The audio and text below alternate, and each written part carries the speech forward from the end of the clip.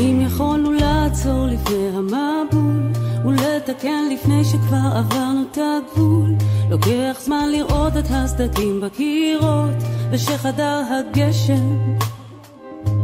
ואם יכולנו להבטיח סוג של שינוי ולמלא באור את מה שעוד לא כבוי אולי עכשיו הזמן לצאת החוצה לבדוק אם כבר יצאה השמש.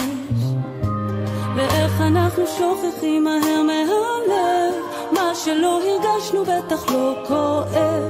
רגע זה כאן, רגע אי שם ורגע לא קיים כבר.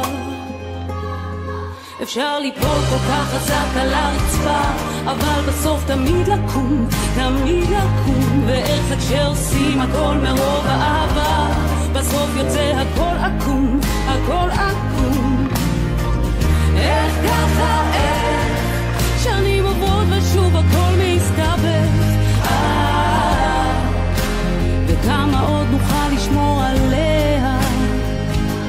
אם רק היה אפשר לכתוב עד סוף לסיפור, או להתחיל מאפס על כל מה ששבור, מכל הרסיסים לבנות תיבה של תקוות, ולהפליג בשקט.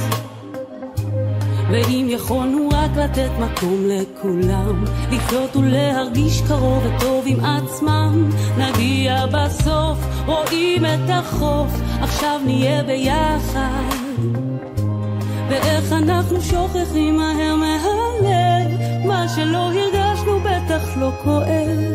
איך רגע זה כאן, רגע אי שם ורגע לא קיים כבר. אפשר ליפול כל כך חזק על הרצפה אבל בסוף תמיד לקום, תמיד לקום. ואיך זה כשעושים הכל מרוב אהבה? בסוף יוצא הכל עקום, הכל עקום. איך